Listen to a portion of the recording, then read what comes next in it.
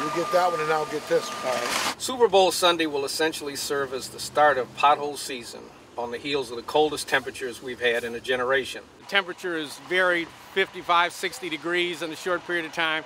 That's always when roads are going to start to pop and you're going to start getting potholes. That freezing and thawing is occurring on historically bad roads. Our roads are going to get worse. Yes, I said it.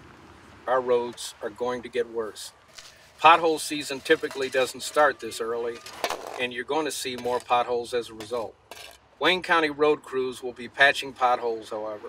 Fluctuating temperatures can negatively impact those efforts. Much of what our crews will be doing in the coming weeks is temporary patching to get us to warmer temperatures when we can do more extensive work.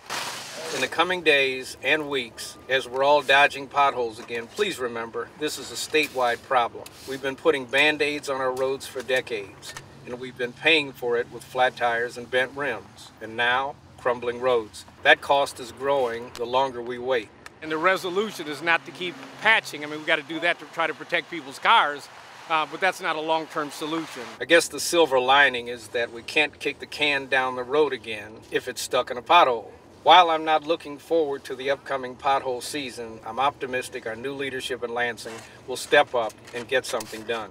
In the meantime, when you see our crews out, please slow down and give them space. And if you see potholes, report them because we can't find everyone as big as the county of Wayne is. But if you call and report it to 1 888 Road Crew, uh, we will do what we can to respond to that as quickly as possible. Thanks a lot.